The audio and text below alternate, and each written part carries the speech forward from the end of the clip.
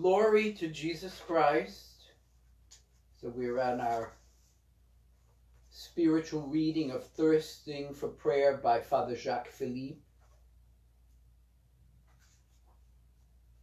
And we're on page 54 for those reading along.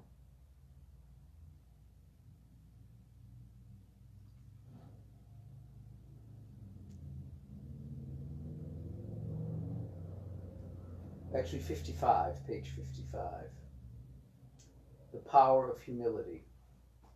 So let's pray our prayer to the Holy Spirit in the name of the Father, the Son, and the Holy Spirit. Amen. Come, Holy Spirit, fill the hearts of your faithful and kindle in them the fire of your love. Send forth your Spirit, and they shall be created, and you shall renew the face of the earth. Let us pray. O God, who instructed the hearts of the faithful by the light of the Holy Spirit, grant that, by the gift of the same Spirit, we may be always truly wise and ever rejoice in his consolation.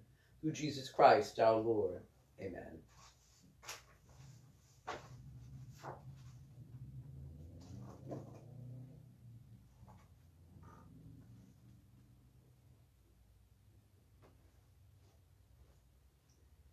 The power of humility. The painful experience of our radical poverty should impel us towards humility and hope, which are basically inseparable.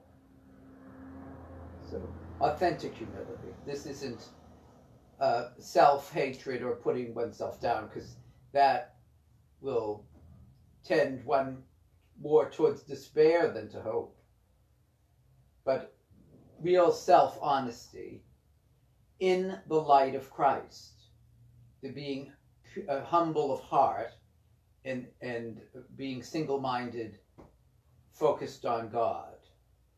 That it's not me that's going to determine everything. And it and it's not the worldly success in any sense of the word that matters. But my faithfulness and the humility really helps that. And hope living in hope. Not uh, some vague optimism, but real hope, trusting in the Lord in all of these situations. Humility means recognizing that everything we are and have is a totally gratuitous gift from God's love. So this is every our very existence is a free gift. You know, I didn't ask to be born, but I need the humility to accept that all the situation that I'm in, the, the genetic disposition that I have, all of these things. And accept all of this, including my limitations, my physical limitations, but everything that's comes from that as a gift from God. And that God can use this. And this is a totally gratuitous gift. It's a free gift. That's what grace means. Grace means a free gift. But what is it a free gift of? It's a free gift of God uh, sharing in the life of God, the eternal life. That's what grace, the sanctifying grace is. That's what that is. It's sharing in the Holy Spirit, sharing in the life of the Trinity. And indeed, God's love, the sharing in His in the divine nature, which is agape love, and that we can attribute absolutely nothing to ourselves. So, yes, I have to cooperate with, with God, and as St. Augustine said, God did not create us with our consent, but he will not save us without our consent. So we need to cooperate in this. But even that is from God, and the more we realize that, the more we grow in authentic humility. St. Paul wrote in 1 Corinthians 4 7, What have you that you did not receive? And this is especially true in the area of the spiritual, and indeed in the area of the prayer life. All of our virtues, all that, they're, they're growths of the gifts of God. They, it's by grace. And salvation, it's by grace alone that we're saved, through a faith that works through love. So I can't boast of my faith before God any more than I can boast of my works before God. The, uh, a faith that doesn't work is dead. So it's it, we're not buying our way in. We have to be like the publican rather than the Pharisee in the area of this humility in the parable of Jesus in Luke 18. Humility also means consenting peacefully to our limitations and weaknesses, loving one's littleness and poverty, as Saint Therese of Lisieux put it in letter 197. Consenting peacefully to our limitations and weaknesses. What, what is our what are our real limitations? So you know the the serenity prayer, and you know grant me the wisdom, the uh, the serenity, the wisdom to know the difference between what I can change and what I can't change, and what should be changed, and what shouldn't be changed and also that I can't change other people. I can be a catalyst for that by my example of, of various other things. But if people aren't don't want to change, you can't be changed. It's like you know, how many psychologists does it take to change a light bulb? Only one, but the bulb has to want to change. You know that. So we are, are called to the reality of the freedom of humility and the humility of authentic freedom in God.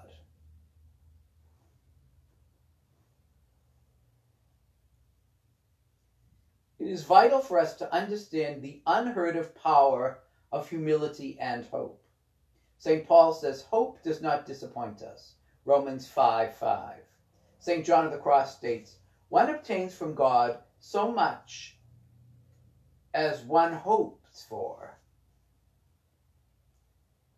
from Dark Night of the Soul, Book 2, Chapter 21. This is the most consoling idea of all. By hope, we can quite certainly obtain everything from God. This is also true of faith, the, that unity of the three theological virtues faith, hope, and love. Hope consists, amidst radical poverty, of total dependence on God of expecting everything from God with full confidence.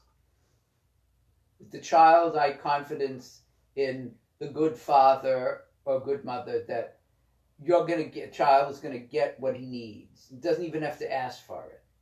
That because the, the parent is, is there for, for him or her. God will give his gifts according not to our virtues, our qualities, our merits, or our good deeds, but according to our hope. So, of course, like faith, hope is bound to love and develops love. This is, is a, a ground for the planting of love. So, in one sense, you can say the, the faith is the soil where the seeds of love are planted. Water the water is hope. Or of course, you could reverse the images. Uh, that, but they all go together. They do. So it's not, you know, I'm not going to, God isn't going to say, well, it's all going to depend on you and what you do. We realize that it all depends on what God does and how we cooperate with that. The same applies to humility. God opposes the proud, but gives grace to the humble. 1 Peter 5 5. He adorns the humble with victory. Psalm 149, verse 4. Humility has absolute power over God's heart. What an interesting image. So it's like the uh, the joke about St. Anthony of Egypt in the desert. And the devil was throwing all sorts of things at him, all sorts of temptations. And he sent special demons who specialized in different sins and temptations to get him. And so one of his most skilled demon tempters uh, showed up in the uh, infertile court there in hell, and he said, "Well, how's it going with Anthony in the desert there?" And the demon said, "Well, it's not going all that well." He said, "Well, did you try this?" And then he said, "Yes, I tried this. Did you try this?" and stuff like that. He said, well, "You have to put the heat on him." The uh, the the devil says to the Satan says to the demon. The demon says, "It's not the heat; it's the humility." The humility rather than the humidity. You know, it's not the heat, but humidity. You know that thing. But humility is one thing that uh, really cannot be uh, truly perverted. I'm talking about authentic humility, not false humility, not self hatred, self contempt, or that false humility that's actually a, a form of manipulation of other people. Uh, that, I'm not talking about that. I'm talking about the authentic virtue of humility, which is always driving us to throw ourselves upon God's mercy, always to admit that we cannot save ourselves, that we cannot do anything without God. Humility has absolute power over God's heart and attracts the fullness of His grace. So, uh, humility is really crucial to authentic contrition, a, a, a sorrow for sin, not just because of I'm going to lose out on something, but because it's offending the very love of God. It's it's going against the love of God. It's it's chipping away or smashing the very love of God. And it attracts humility attracts his grace. So that's I like that image too of a of a, a magnet. Humility as a magnet of grace. But of course, grace precedes humility, as grace precedes everything. When humility is joined with hope, it compels God, quote unquote, so to speak, to come down and take care of us. If we could really measure the power of humility, we would consider that our greatest treasure is everything that obliges us to be humble. Our failings, our incapacities, our falls. The more the soul is afflicted, stripped, and deeply humiliated, the more it acquires with purity an aptitude for the heights. The height that it becomes capable of reaching is measured by the depth of the abyss where it has its roots and foundation, says Angela of Foligno in her Book of Wisdom, Visions and Instructions, chapter 19. If we wish to rise very high, we must first go down very low. St. Teresa puts it like this I consider that the day when the humble revelation of ourselves has brought us many afflictions and sorrows is a greater grace from God than many full days of prayer. From the book of the Foundations, chapter 5. Elsewhere, she says, the whole edifice of prayer is founded on humility. And the more a soul abases itself in prayer, the higher God raises her. From her spiritual autobiography, chapter 22. I recently read some passages from a 17th century French religious, Catherine de Bar, who founded 10 monasteries of Benedictines of perpetual adoration of the Blessed Sacrament. She beautifully describes the power of humility to attract God's grace.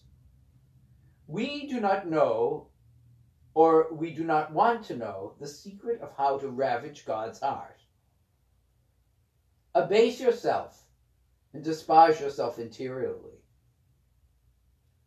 The footnote this invitation to despise oneself must be correctly understood, especially today when many people, for psychological reasons, tend to despise themselves, belittle themselves, or even hate themselves. That has no connection with the humility of the gospel, which consists on the contrary, of accepting one's poverty and being reconciled to one's weaknesses. Despising oneself here should be understood as recognizing one's radical poverty and accepting it peacefully with total confidence in God.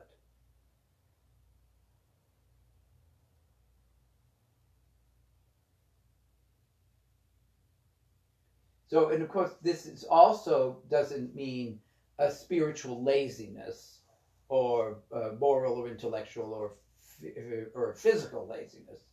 Would say, "Oh, I just can't do that. I'm not even going to try." Now, there are some situations in which you know that's sensible. If someone said, "You know, lift this 300 pound weight," I would quite sensibly say, "I cannot do that." And this side of the resurrection, uh, I will not be able to do that unless I had some sort of device that would do it.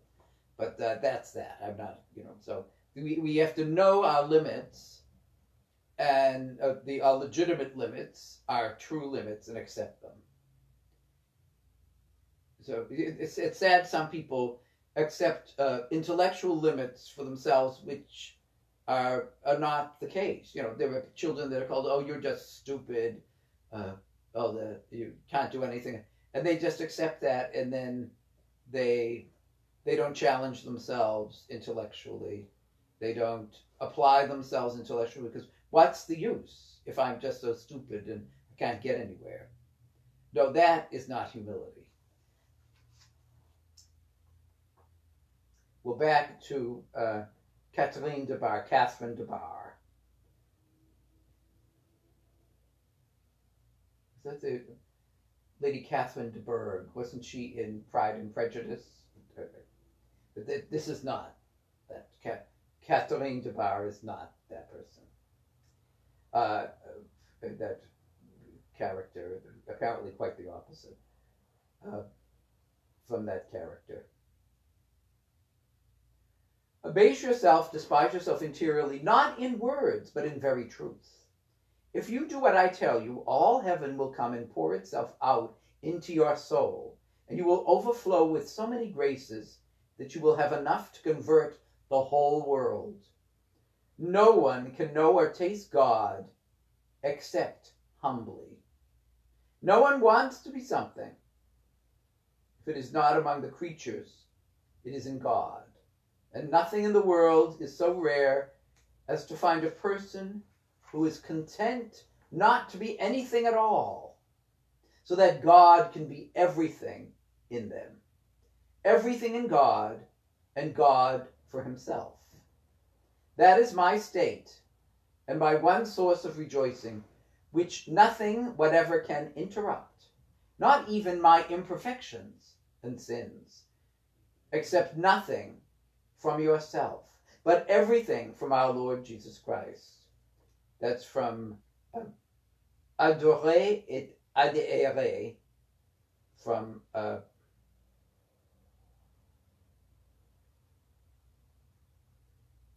page 112, en français, je crois. Saint Therese of Lisieux also explains how greatly humility attracts God's grace. Ah, let us then keep far away from everything that shines.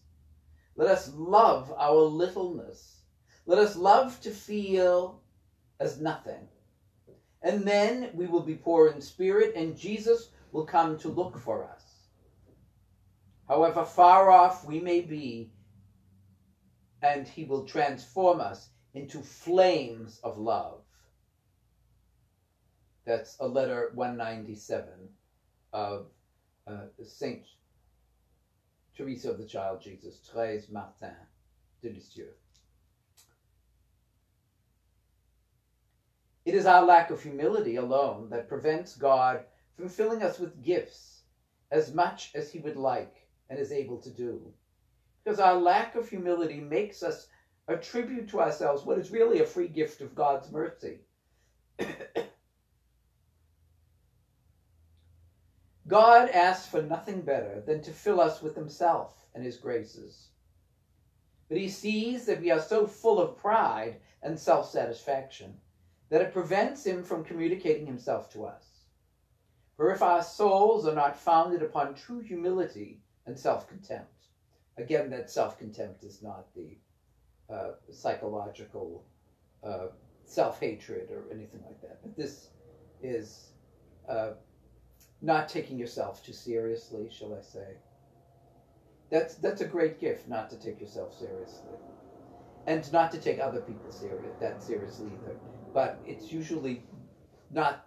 Uh, it, it's usually diplomatically advisable not to tell people that you don't take them that seriously. Of that, only God do we take seriously, ultimately, and with great joy. In, in the sense of I'm not saying that we don't take people as uh, that meaning what they're they're going to do, or mean, meaning what they're doing. We, you know, that's, that's another story. But.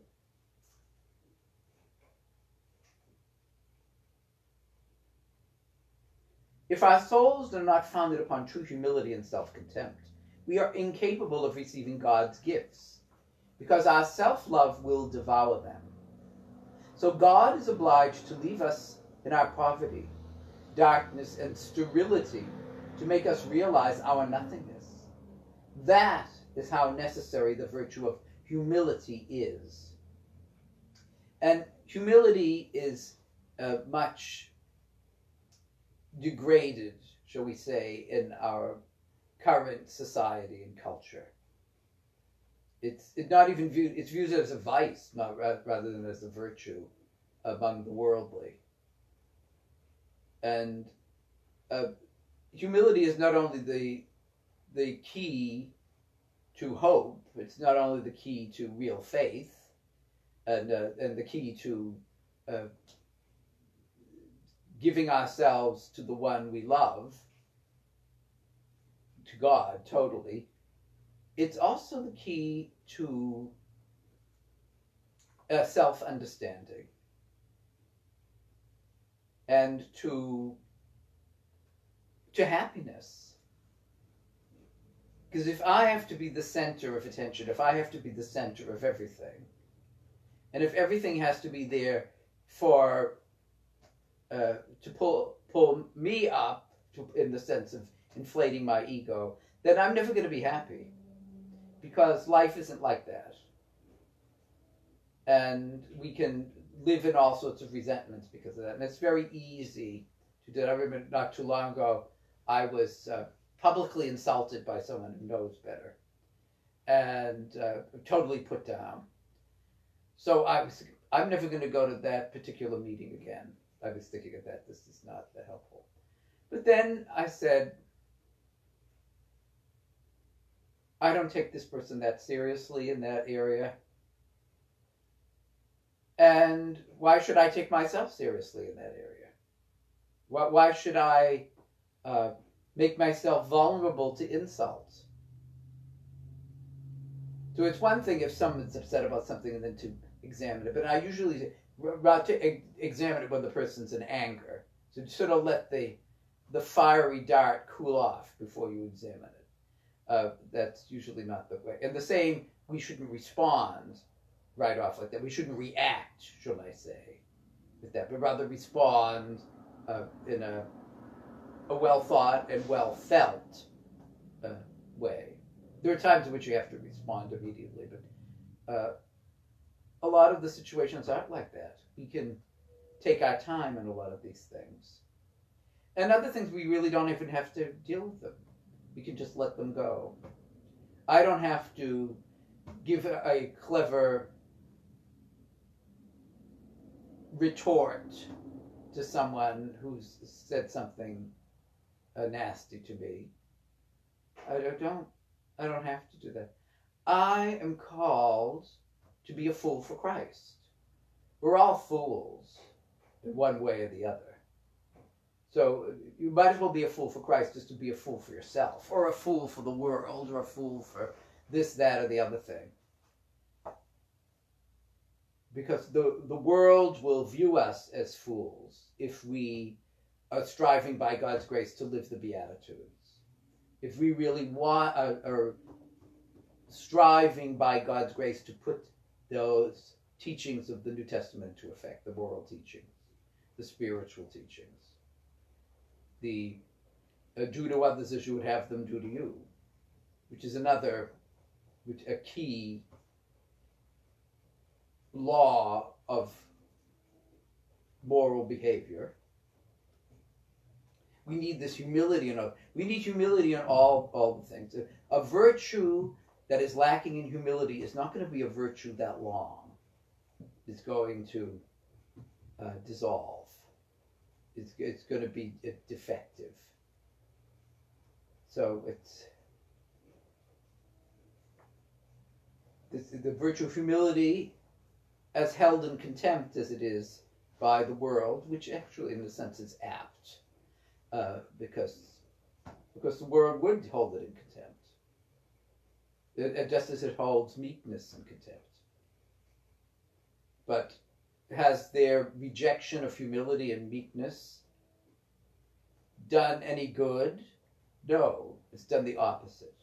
All their concern of quote unquote honor, it has brought death and destruction and true dishonor to the world often. And the the need to re- respond in violence or to respond in some way like that i don't uh, get angry i get even attitude. What does that do to the interior self? What bitterness does that nurture? And it can be very attractive this bitterness and stuff so sometimes, you know, we, years later, we've been uh, uh, dissed, as they say, disrespected by someone, and and we can bring that fight into into the present day, you know, 20, 30, 40 years later, and get all riled up interiorly over it. And it's gone. Maybe the person's gone. Maybe all of this is gone but uh, we would uh, uh, drag ourselves back into that. So no wonder we have no time for the present moment, dealing with the issue, the uh, the evils of the day, or, or the issues of the day, or the problems of the day, or just this moment, the joys of the day, because we're dragging up all this, dredging up all this stuff that doesn't need to be dredged. Yes, this stuff we need inner healing, healing of past things we do have to face things in the past that we haven't faced interiorly. But we're not to wallow in it forever. So because that's that's an ego thing too, often to the the to the this uh, professional victimization constantly doing that. Now I'm not talking about dealing with real abuse. That must must be dealt with, and we shouldn't tolerate but a lot of this other stuff, it's it's not going to do me any good. So if I don't have the humility to forgive, and again, this f- forgiveness doesn't begin usually with the emotions. The emotions may come at the end. The emotions may never come at all. But it's the the will, the acting in this, and again, we need the humility to do this. To we have, no, we have to rely on God's grace. That especially the deeper the hurt, the more we have to rely on God's grace for this for this forgiveness. And again, forgiveness is not justifying what people did or brushing it off or not uh, seeking amends or justice. It's not that. But it's not acting as the judge. And what does this resentment and bitterness do? It, it does it really affect the other person? Usually not. Who is the one who's poisoned by this? I am, if I'm dwelling in this.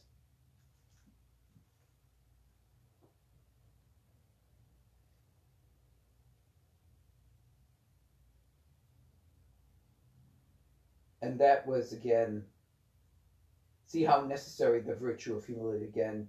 Uh, Catherine de Bar and Adorer et adhérer, page 113. So, 113.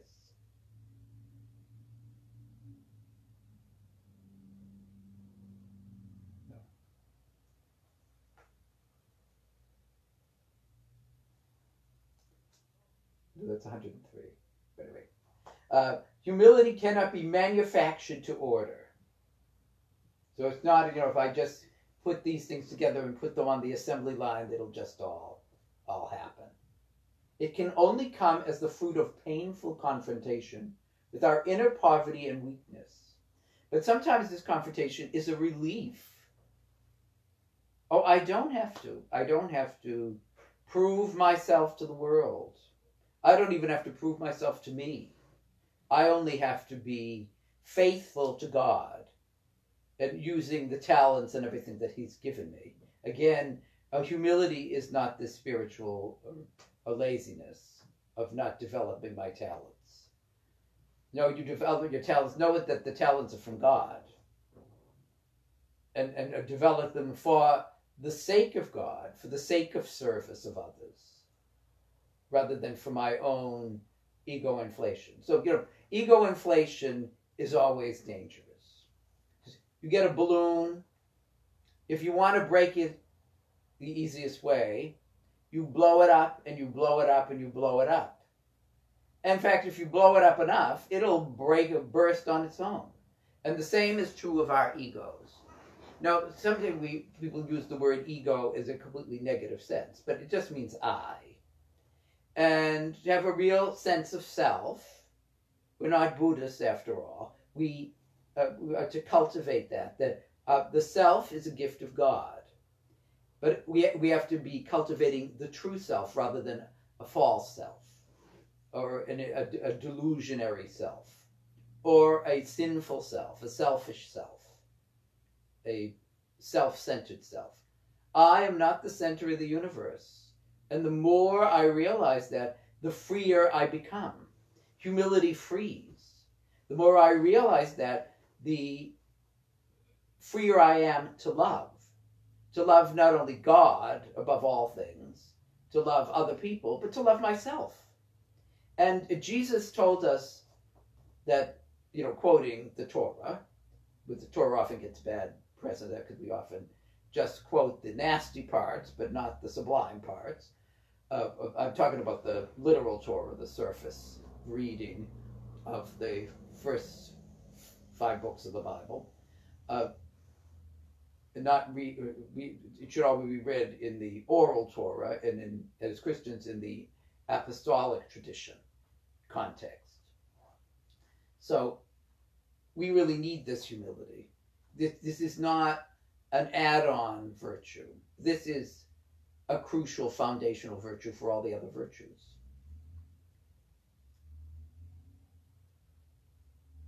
Humility cannot be manufactured to order. It can only come as the fruit of a painful confrontation. As I said, sometimes it's a, the confrontation is a relief, the looking into ourselves, the fearless moral inventory that AA talks about. It can be uh, frightening to, to a, a shallow ego. But what we need is a strong ego, a healthy ego, a sanctified ego, an ego centered not on myself, but centered on God.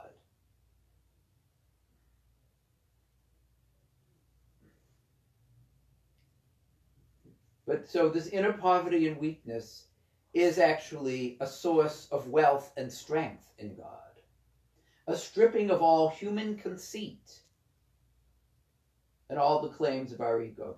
Then the word pride in English has different meanings.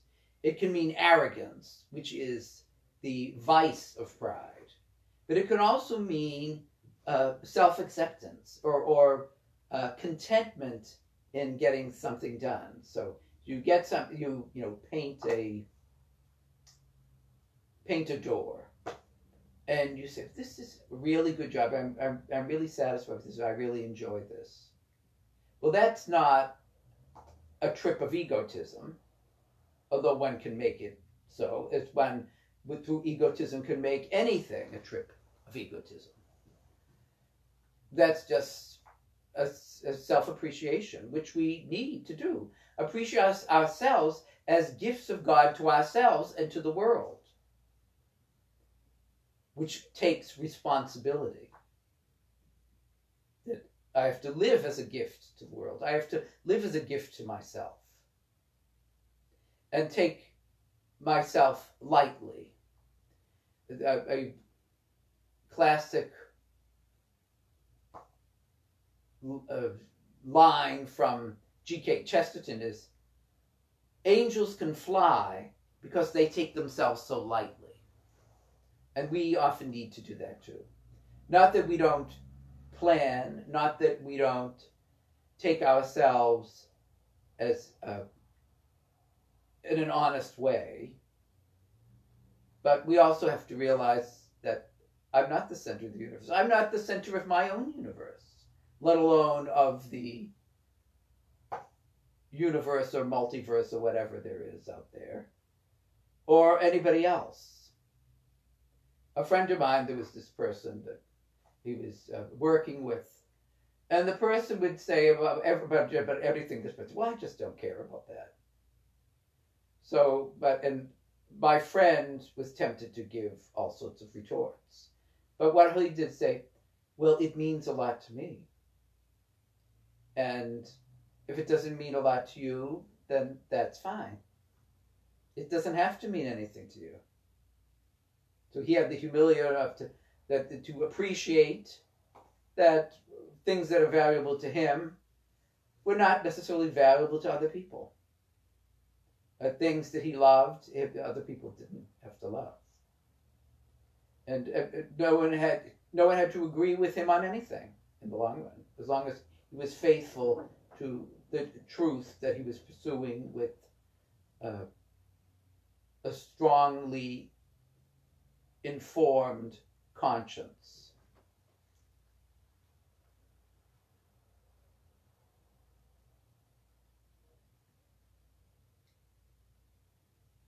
Human conceit and all the claims of our ego. That's ego in the negative sense there. Humility does not consist of having humble thoughts, but of sustaining the weight of the truth, which is the abyss of our extreme wretchedness. But it pleases God to make us feel it.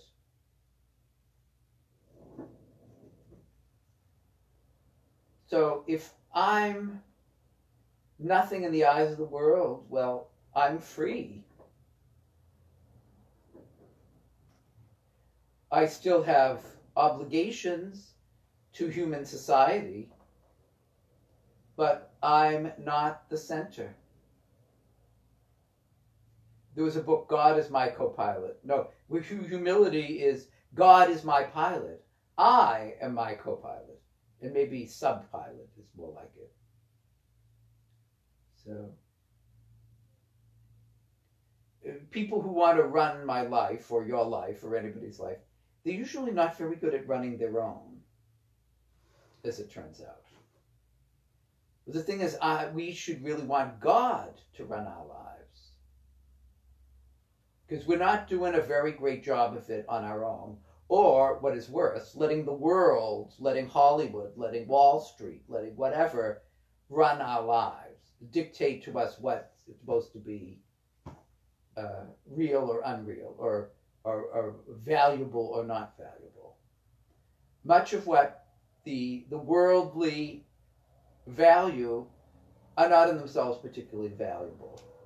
There was this, this saying, or rather chilling saying, I thought, uh, the one who dies with the most toys wins.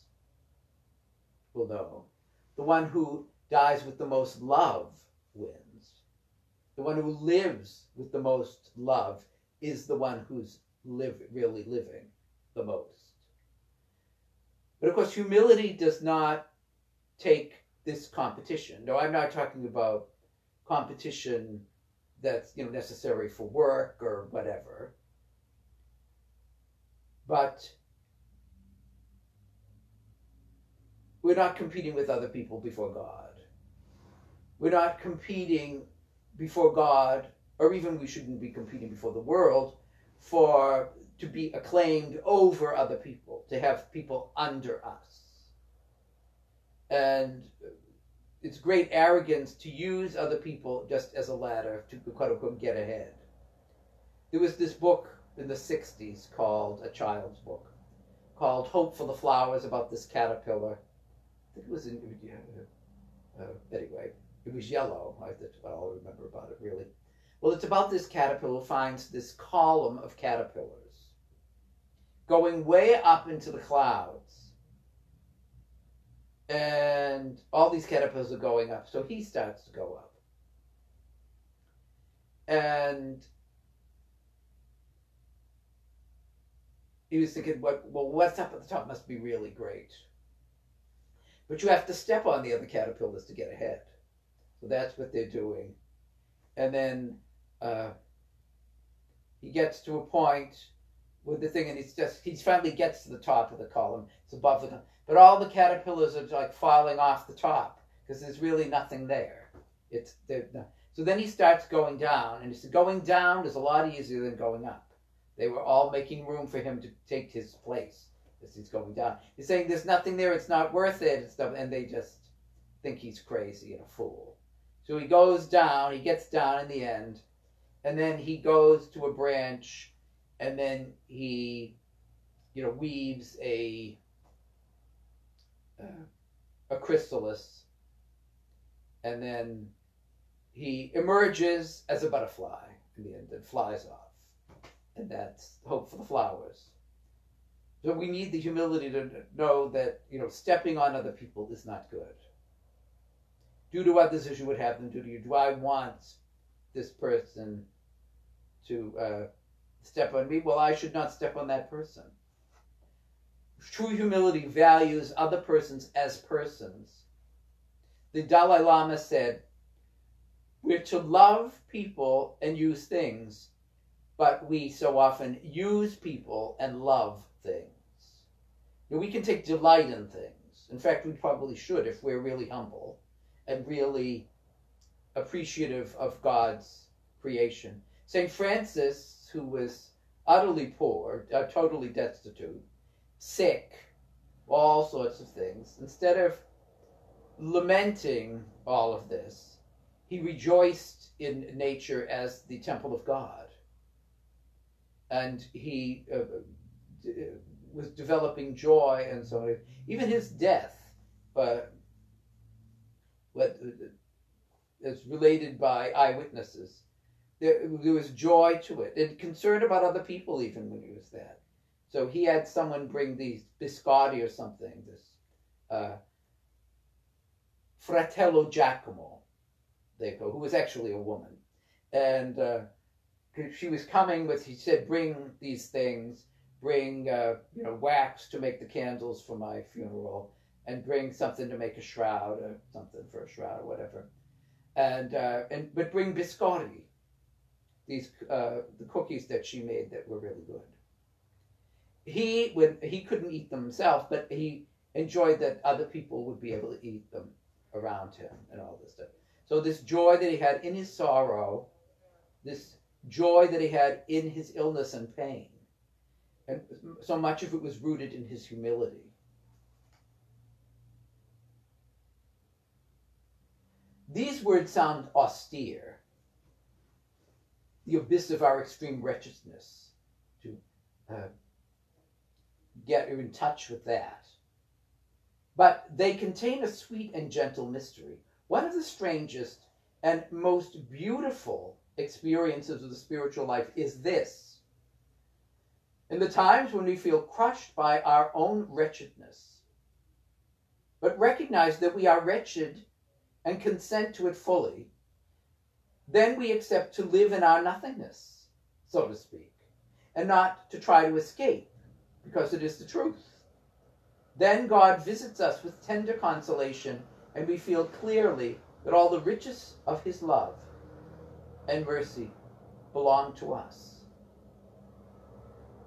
Our poverty makes us infinitely rich. That's something worth, you know, writing on on a wall. But only your own wall. I don't want vandalism and graffitiism, especially nowadays. Blessed are the poor in spirit, for theirs is the kingdom of heaven. One of the Beatitudes, and a crucial beatitude, Matthew 5 3. Therese of Lisieux says that no joy can compare with the joy tasted by those who are truly poor in spirit, with that a sense of utter dependence on God, that everything is a gift, that everything can be approached with gratitude, even our wretchedness, even our illnesses, even our debilities, even the things like because I'm getting older, and who isn't getting older? You don't get younger. Uh, there are all sorts of things that aren't what they used to be. And, you know, when I try to do the exercises and follow the right things and do all this stuff, it's still a problem. You know, running, running at least an hour and a half, really running an hour a, a, a, every day for 30 years has left an effect on my ankles, my joints, my knees, my back, all this. But I have absolutely no regrets of that. So uh, uh, I still run in my dreams and enjoy it. But the Lord is all in all. So pursuing God in that and realizing that everything else is going to fall away. As one wit once says, there are no luggage racks on a hearse. There are no pockets in a shroud. It's, you can't take it with you. But what we can take with you, what we can take with ourselves, is love. Everything of love. Uh, even the virtues that prepare for love, the two theological virtues of faith and hope. At death, after death, we don't need those. But we need love because that's the very essence of what heaven is. The very nature of God. Heaven is un, unrestricted, unencumbered unity with God, communion with God. And humility opens us to that. Or as I've said before, it's foundational to all the virtues. But it's hard, not only because society doesn't go along with it, but our own, our own sense of self-importance doesn't go along with it. We are important. We're infinitely important. But so I'm infinitely important. You're infinitely important. But so is every other human that ever existed. In fact, God loves every creature, loves everything. Every snail, every mosquito, all that. Yeah. Why he made mosquitoes, I don't know. But there it is. Uh, there's evolution for you. But the uh, we're to be poor in spirit. No joy can compare with the joy tasted by those who are truly poor in spirit, truly dependent, truly grateful for everything. Not only the pleasant, but the unpleasant. To knowing that having the humility that God is fulfilling his promises, that God can use everything we really turn over to him. To round off this subject, here are some beautiful words by a Carthusian. That's a religious order of a strict contemplative and uh, eremitical hermit life in, in a community. In an article about the prayer of the heart, on the deep and positive meaning of this experience of poverty and weakness, which is an integral part of the spiritual life. It is the foundation of true love. Even in the natural order, all genuine love is a victory of weakness Loving is not dominating or possessing, not imposing oneself on the person loved. Loving means that one welcomes the other person without putting up any defenses. In return, one is certain of being welcomed totally by that person without being judged, condemned, or compared. That's if the other person is pursuing authentic and mature love. There are no more trials of strength between the two people who love each other. So it's not, I have to get ahead, I have to be better than this and the other thing. Uh, it's not needed. It's love demands cooperation rather than competition. There are no more trials of strength between two people who love each other. There is a sort of mutual inner intelligence, thanks to which one can no longer fear any danger, whatever, coming from the other person. Because the, the other person is also uh, uh, in this pilgrimage of love, in this pursuit of love, in this dedication to love. This experience, even if it always remains imperfect, is already convincing, and yet is only a reflection of the divine reality. From the moment we begin to believe truly in our hearts in God the Father's infinite tenderness, we feel in some way compelled to descend further and further into a positive, joyful acceptance of not having, not knowing, and not being able. This does not entail any unhealthy self humiliation. We are simply entering into the world of love and trust. That's from Jean René Boucher in Parole du Chartreux. Chartreux. Parole de Chartreux. The speeches of the Charterhouse. Perspectives de vivre religieuse. Perspectives on the religious life for page 99. Since uh, the footnote is referred in French, I assume there isn't an English translation.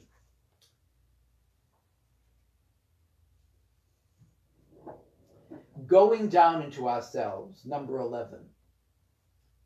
Let me use an image to put everything I have just said in a slightly different way and express what we experience if we persevere in prayer both as suffering and, at the same time, as happiness. Someone who persists in praying day after day is like a man who acquires an old house in the country with a well in the garden. The well has not been used for maybe a hundred years and is blocked up. The man thinks it would be a good idea to restore it to use, so he starts clearing it. To begin with, it is not very pleasant. He finds dead leaves stones, mud, all sorts of rubbish, some of it quite disgusting. If he does not give up, but continues toiling away, in the end he discovers at the bottom of the well water that is clear, fresh, and unbelievably thirst quenching. I'd want it filtered first after all that muck and stuff, anyway. That is how it is for us. Faithfulness in prayer involves a painful confrontation with what we have in our hearts. There we find things that weigh us down, tangled things, dirty things. But the day comes when deeper down than our psychological wounds, even deeper than our sins and dirt, we reach a pure spring, the presence of God in the depths of our hearts, enabling our whole selves to be purified and renewed he who believes in me, out of his heart shall flow rivers of living water. John 7:38. Human beings are not purified from the outside inwards, but starting from within. Not so much by a moral effort we make, and he's not putting down moral effort by any means, but by discovering a presence with a capital P a presence within us, and letting Him act freely. Because this presence, this force, is not just a force, but a person. Indeed, three persons of one being. And letting Him act freely, having the humility to let God be in charge of our lives and in charge of our spiritual lives, of letting God go knowing that God knows better than we do? That's not easy. By faithfulness to prayer, we find within us a space of purity, peace, and freedom. God's presence closer to us than we are to ourselves. The center of the soul is God, says St. John of the Cross. We learn little by little to center our lives on Him and no longer on our wounded psychological periphery, our fears, bitterness, aggressiveness, jealousies, etc. Not that we don't take that in reality and be willing to go through those things. We all want to go around them, but often that's not the case. The, often, the deeper our pains of the past and present, the more we have to go through them.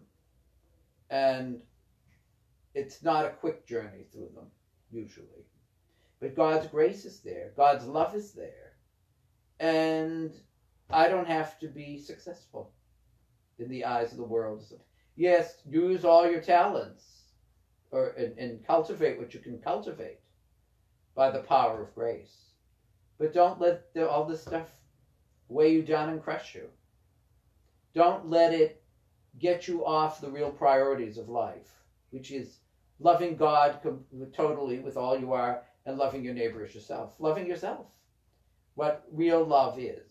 Loving other people. Serving other people in this way. So we're to be servants of all, but slaves to none. And have the humility for that.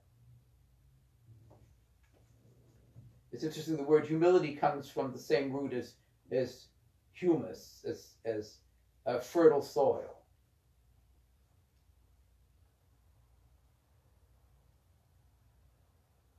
Human beings are not purified from outside inwards. By faithfulness to prayer, we find within us a space of purity, peace, and freedom. We learn little by little to center our lives on Him, on God, and no longer on our everything else. Especially that's uh, all the problems, all the pains, all the stuff. Our fears, yes, we face that. Our bitterness, we seek healing of that. Our aggressiveness, we need to deal with that. Our gen- uh, jealousies, our envies, our, our ambitions that are not centered on the productive. This kind of interiorization, which is one of the fruits of prayer, is much more than simple recollecting ourselves. It's not just sitting in a, in a chair and closing your eyes and trying to get it all together. It is discovering and uniting ourselves to an inner presence with a capital P that becomes our life and the source of all our thoughts and actions. I will come back to this point. So we'll stop there and go on 12. Prayer is an act of love next Wednesday.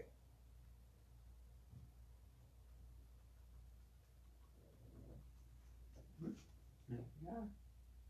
Oh, so we're almost halfway through, it's almost halfway through the book.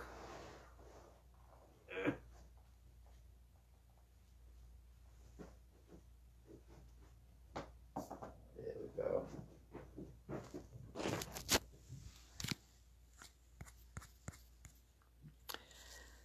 And let's wave back Timothy Mills. Christ is in our midst. He is and always will be. Joe O'Brien, Christ is in our midst. He is and always will be. Father Paul Ring, Christ is in our midst. He is and always will be. Robert Hart, Christ is in our midst. He is and always will be. Walter Byrne, Christ is in our midst. He is and always will be. Gary Graveline Sr., Christ is in our midst. He is and always will be. Barbara Reedy, Christ is in our midst. He is and always will be. Will God bless us all, everyone, as Tiny Tim said? Not the singer, the Dickens character. God bless us all. Amen.